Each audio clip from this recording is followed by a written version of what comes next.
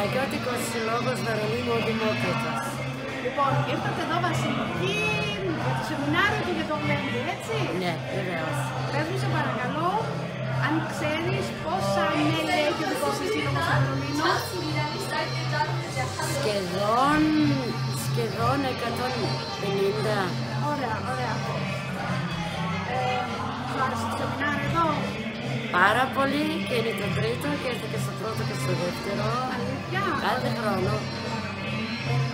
Εσείς, ε, ο Σύλλογος του Βερολίνου, τι εκδηλώσεις κάνει το χρόνο, έτσι; Μ, Κάνουμε τη χωρεοσπερίδα μία φορά το χρόνο.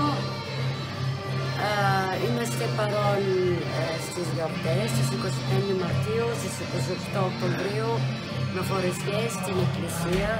Τα παιδάκια χορεύουν ε, μετά από τα ποίηματα. Είναι πολύ μικρά το παιδικό χορευτικό. Αλλά είναι Και ωραίο. τα ποίηματα ακόμα δεν τα έχουν, αλλά αρχίζουμε σιγά σιγά.